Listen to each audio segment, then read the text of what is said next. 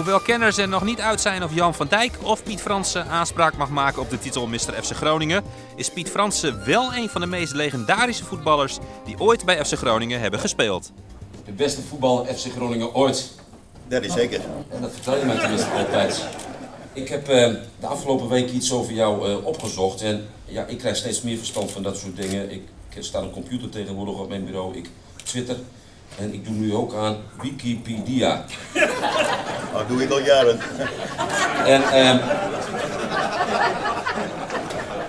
beste mensen, serieuze aangelegenheid hier.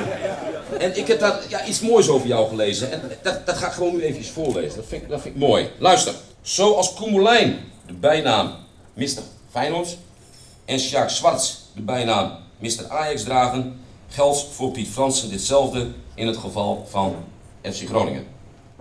In zijn carrière kwam hij achtereenvolgens uit voor GVV, hè, de voorloper van FC Groningen, Feyenoord, weer de FC Groningen, ACV en Gronitas. Ja, klopt. Klopt hè? Hij kwam zes keer uit voor Oranje en speelde met Feyenoord in de Europa Cup 1 tegen onder meer Real Madrid. Wat is er veel gebeurd, Piet? Een straat naar jou vernoemd, Laan. een eren, een laan, een eren, een erepenning, een erepenning. Het verbaast mij dat de Martini-toren nog niet is omgedoopt tot de Piet Fransen-toren. Naast seizoenkaarten, een envelop met inhoud en bloemen had het bestuur van FC Groningen voor Piet Fransen nog een extra verrassing in petto. Wij hebben gemeente een tribune hier in het Euroborgstadion te moeten vernoemen naar Piet Fransen. Dus dat betekent dat vanaf nu de Oosttribune, nee, jawel, de Oosttribune de Piet tribune zal gaan heten. Dat wil ik kopen. Ja,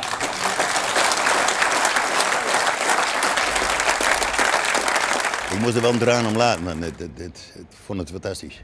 Ja, dat had je natuurlijk nooit verwacht. Nee, helemaal niet. Ik denk, eh, er is al zo vaak over gesproken. Ik denk, maar die zouden wel niet komen. Nou, gelukkig is die er toch, komt hij er toch. Hoe is dat nu om naar je eigen tribune te kijken? Ja, dat zegt me nou nog niet zoveel. Als, als die opening komt en die naam die komt tevoorschijn, dan zegt het mij een hele hoop. vanuit onze supporters is heel vaak het verzoek gekomen. En trouwens ook Dick Heuvelman heeft zich daar regelmatig mee bemoeid. Benoem nou eens de tribunes naar spelers of trainers die veel hebben betekend voor deze, deze prachtige club. In het Oosterparkstadion hebben we nog de Tony van Leeuwen tribune hebben we daar nog, eh, nog gehad. Dit wordt de Piet Fransen tribune. Dan hebben we nog eh, twee tribunes, eh, eh, de Zuid- en de Noordkant, die we ook eh, willen gaan vernoemen.